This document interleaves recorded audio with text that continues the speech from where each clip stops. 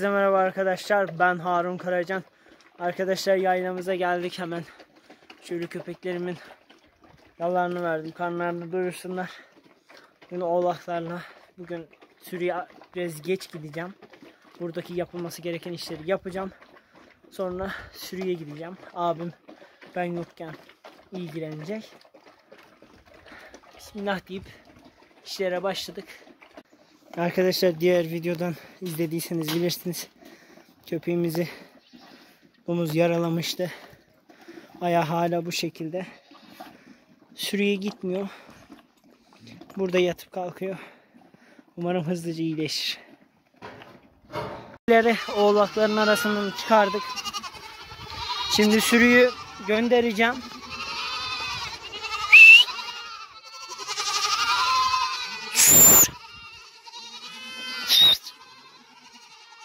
Hasan dayıya rakip.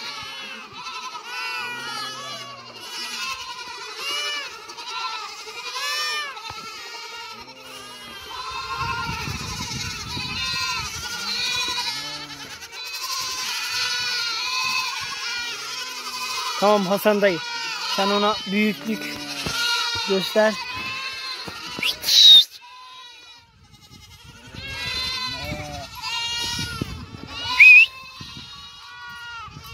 Arkadaşlar sürü gidecek. Ben de sabah buradaki yapılması gereken işleri yapacağım. Ve bunları da sizlere, bu görüntüleri de sizlere aktaracağım. Köpeklerimiz de sürüyle birlikte gidiyor. Tavuklarımızla da hemen ilgilenelim. Bunları da unutmadan. Diğer tavuklar çıkmış. Ya da akşam unuttum mu? Cücü cücü cücü.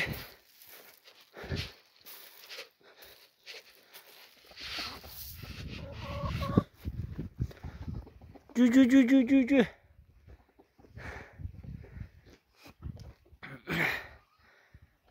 Tavuklarla da ilgilendikten sonra buradan oğlakları ilaçlayacağız arkadaşlar. Çünkü kene, bit, pireve onlardan etkilenip büyüyemiyorlar. Onları da aradan çıkartalım. Arkadaşlar oğlaklarımıza kene ve bit pire yok ama onlardan sarıyor. Bakın şöyle bir keneye karşı iyi bir ilaç. Keneyi etkili. Bakın bu da hayır sadece hayvan sağlığında kullanılır. Arkadaşlar bu da kene. Kene için. Bunu arkadaşlar para ile satılmaz. Hayvanlarınızın küpe numarasını yazıp götürüp o şekilde alıyorsunuz.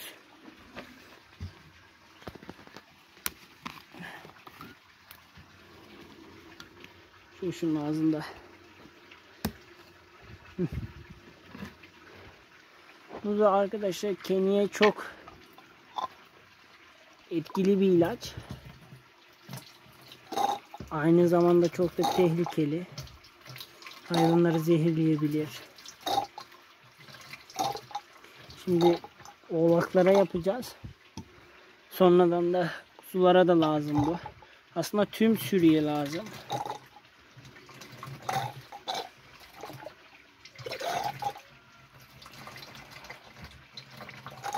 Bu ilaç arkadaşlar bir değişik bir kokusu var. Kene bu kokuyu arkadaşlar gelmiyor. Normalde bu hayvanların sadece sırtına dökülür ama şimdi oğlak sayısı fazla olduğu için ne kadar tutayım hepsini dökeyim. Kaç tane aldık. Bakın şu an zaten çok farklı kokmaya başladı. Arkadaşlar bu da çok tehlikeli ve aynı zamanda zehirleyici. Şu an acayip kokuyor. Şöyle biraz oldu. Bu arkadaşlar suyla katılınca yani suyla daha da çoğalıyor. Zaten bunu direkt saf olarak kullanılırsa hayvanların ciltlerinde yanmalar, tüylerinde dökülme yaşanır. Çok farklı. Zaten kötü de koktu. Şimdi oğlaklarımızı hemen ilaçlayıp sürüye gideceğim.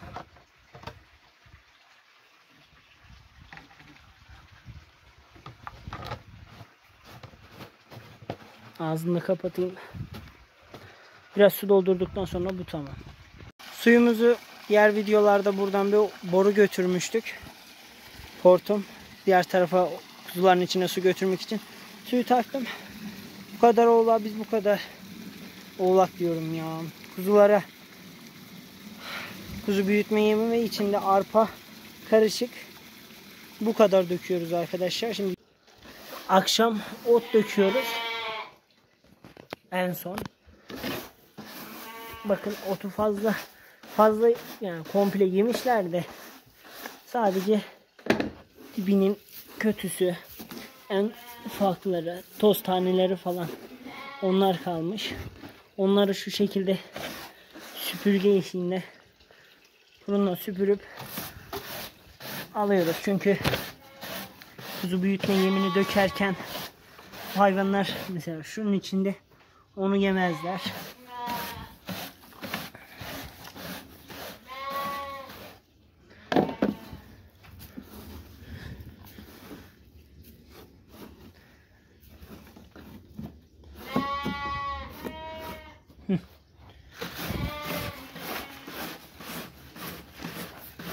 Bakın tertemiz oluyor.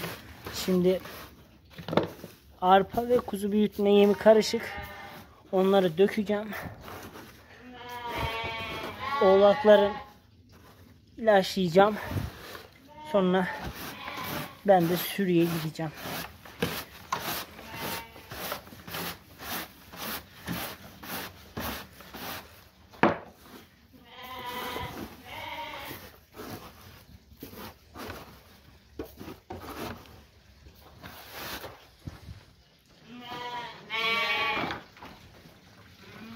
Suyumuz da hemen doldu.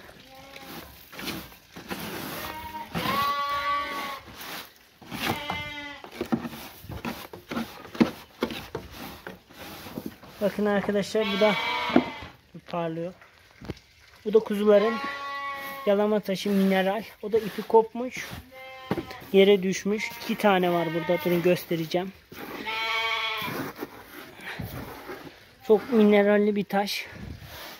Bakın zaten çoğunu yemişler. Yalıyorlar arkadaşlar. Bu taşı yalayarak.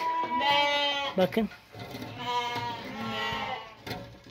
Şöyle asıyorsunuz. Gayet de iyi yalamışlar. İki tane var burada arkadaşlar. Bunlar 3 kilo şeklinde satılıyor. Biz CP'nin olan mineral taşını alıyoruz. Ve bu kuzu büyütme yemi de CP'nin. Yani o daha iyi.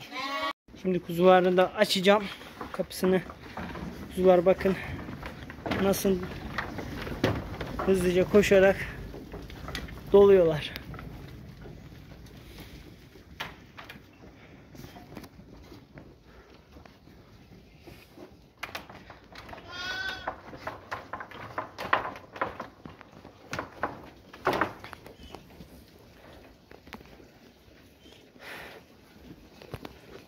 Bakın arpayla da karışınca büyük bir iştahla yiyorlar.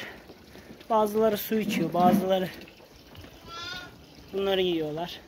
Kuzu büyütme yemini. Ve sizlere bir şey daha göstereceğim. Bakın. iki günlük bir kuzumuz. Küçücük bir kuzu. Sürünün en küçüğü o.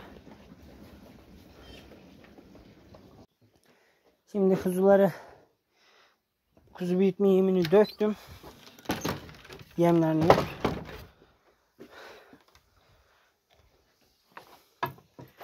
Köpeklerin çanaklarını da buradan toplayacağım. Şimdi arkadaşlar gidip oğlakları artık ilaçlayalım. Biraz su dolduracağım. Başlayalım.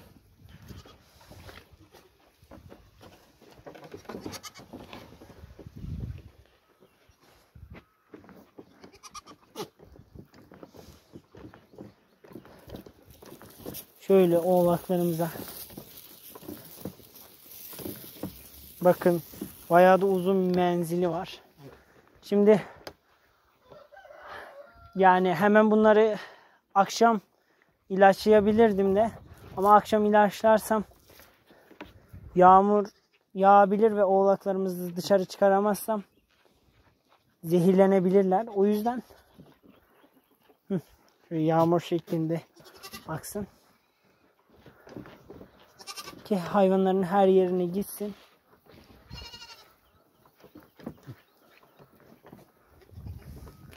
Bu şekilde tüylerin bütün aralarına da gidebilir. Akşam yapabilir miydim? Yapardım arkadaşlar ama yağmur yağarsa bu hayvanlar dışarıda olması lazım. Çünkü çok tehlikeli bir madde. Onun için şimdi yapmam daha mantıklı. Şöyle arkalarından yapayım gözlerine dolmasın. Bir tanesini de tutup göstereceğim arkadaşlar.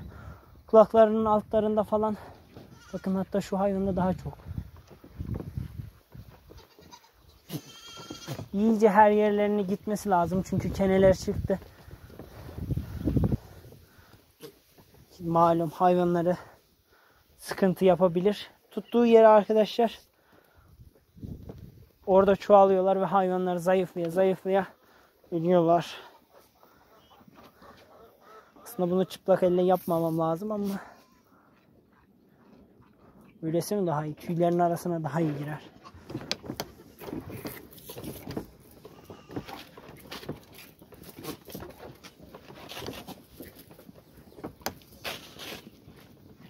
Şöyle yapayım bari.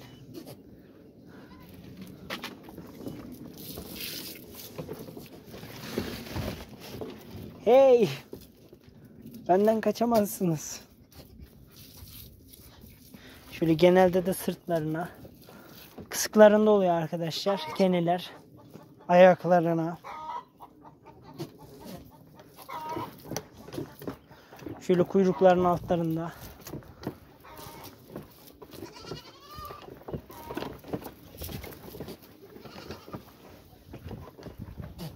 Şöyle daha iyi. Hem yağmur şeklinde bakın hem de hayvanlar fazla etkilenmeden. Bakın şurada bir horozumuz da var. Horozumuz da etkilensin, ilacını alsın.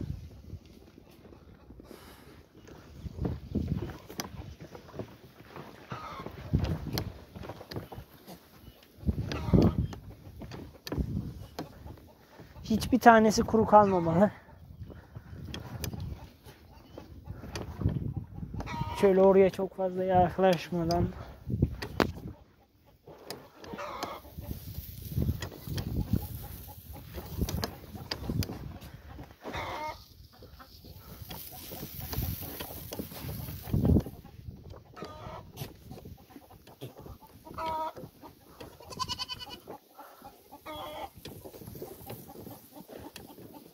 Şöyle daha çok ayaklarına falan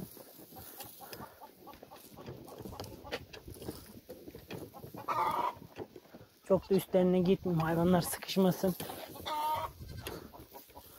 Ama bunu yapmamız lazım çünkü bir tanesinde vardı arkadaşlar. Hemen önlem alalım.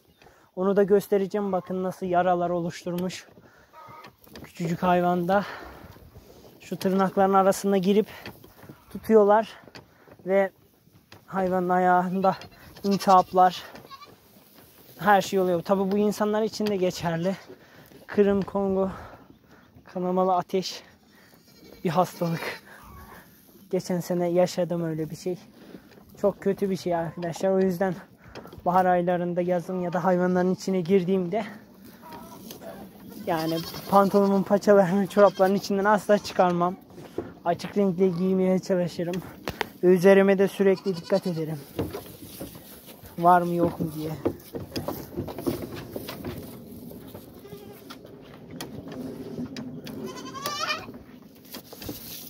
Şimdi bunlar dışarıda duracaklar. O esnada da ben kuzuların otunu falan dökeceğim. Bayağı bir zaman geçer. Ve artık daha tehlikeli bir iş olmaz.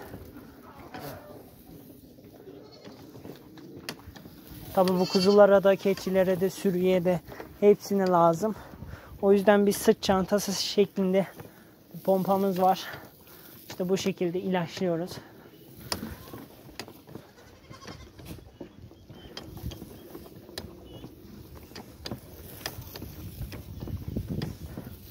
Komple bitireceğim arkadaşlar. Burada yüzden fazla oğlak var.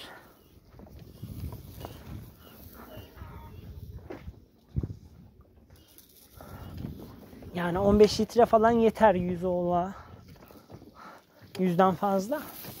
Zaten 15 litre de bayağı yeterlidir. Çünkü hayvanların ebatları küçük. Keçiler veya koyunlar olsa doğru. İyice ayaklarına falan. Korkmanıza gerek yok bu sizin iyiliğiniz için.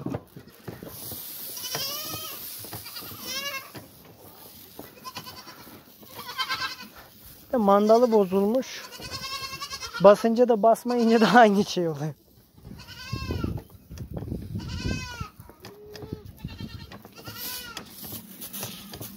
Bitmeye başladı arkadaşlar. Bakın hava geliyor bazen.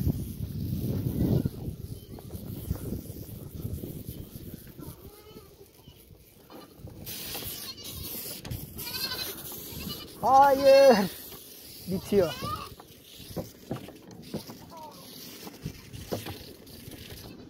Arkadaşlar ilaçlama serüveni de bu kadardı. Bitti. Bakın bakın bakın. Hayvanın kulağının altlarında hayvanların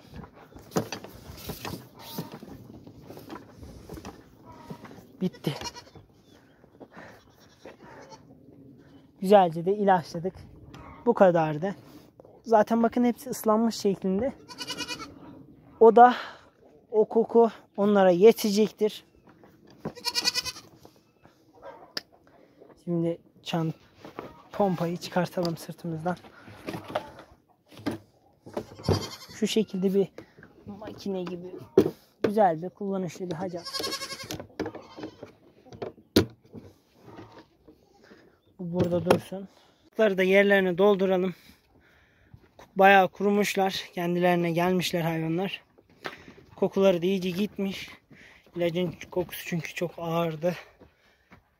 Şimdi sürüye gidelim. Aileye geldim. Hemen yumurtalarımızı toplayalım. Çünkü karga deliyor yumurtaları. Hatta alıp götürüyor. Ama demek ki henüz anlamadı mı? Yoksa bizim burada olduğumuzu mu sandı?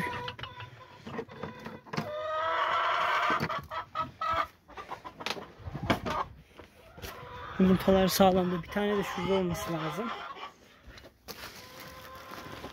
Evet.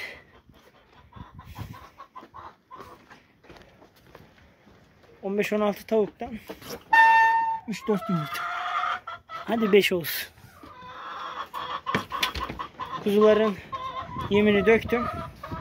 Tavukların yumurtasını topladım. Şimdi sürü gelsin. Gelmesini bekleyeceğiz. Yağmur yağacak galiba. İyi ki sabahtan da köpeğimiz gelmiş. Sabahtan oğlakları ilaçladım. Yoksa bu havada dışarı çıkaramazdım. Arkadaşlar bugün de böyle sonlandıralım. Hem yağmur yağmaya başladı hem de akşam oldu. Videomuzu izlediğiniz için teşekkür ederim. Kendinize iyi bakın. Bir sonraki videoda görüşürüz.